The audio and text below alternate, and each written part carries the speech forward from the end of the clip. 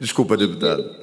Presidente, é como lá o rio que tem em Recife, lá é Capibaribe, aqui meu sobrenome é Capiberi. Bem corrigido, deputado. É. Perdão.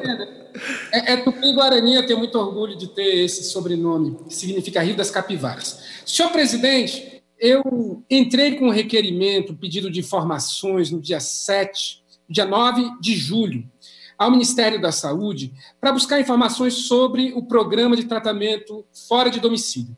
Esse é um programa extremamente importante para nós que somos de estados isolados da Amazônia, porque a Constituição Federal ela garante que o SUS, Sistema Único de Saúde, garantirá o atendimento integral à saúde, ou seja, as pessoas têm direito a ter um tratamento, por exemplo, de radioterapia, que não é ofertado pelo sistema público no Amapá, aonde ele ser ofertado. Então, é papel do Estado, e aí nas três esferas, garantir que o cidadão ou a cidadã tenham acesso a esse atendimento. No entanto, as regras do TFD são muito confusas. No início desse ano, eu recebi a visita da Júlia, que é a presidente da Associação dos Pacientes e Familiares do TFD, mostrando que o governo do Estado do Amapá abandonou completamente esses pacientes, né, não tem mais a passagem para eles se deslocarem, estão perdendo os agendamentos, as consultas que não são fáceis de agendar, porque passam por um sistema complexo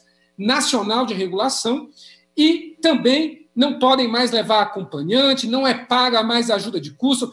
É preciso dizer, senhores parlamentares e todos aqueles que nos assistem, que a Amazônia ela é a maior porção do território e moram 20 milhões, cerca de 20 milhões de pessoas. Tudo é isolado.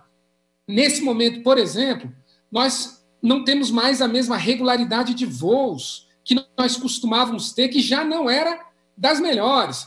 Então, assim, não tem como nós fazermos justiça social no Brasil se não passarmos a ter um olhar diferenciado para a saúde da Amazônia. Eu estou citando o TFD porque o Estado não tem a capacidade, eu não estou falando do governo do Estado, estou falando do Estado Nacional, não tem a capacidade de fornecer o atendimento e nem várias especialidades dentro do território do estado do Amapá.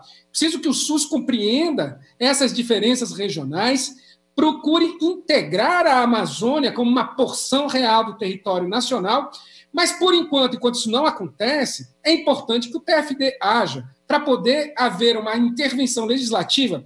Eu estou pedindo um conjunto de informações ao Ministério da Saúde e ao governo federal, mas, de antemão, eu condeno o comportamento do governador Valdez Góes, abandonando pacientes cardíacos, renais transplantados, enfim, de toda a ordem de tratamento de câncer, abandonados à própria sorte. Repudio a atitude do governador Valdez desde o ano passado e peço que ele mude a sua atitude e pense nas pessoas que estão sofrendo nesse momento. Muito obrigado, senhor presidente.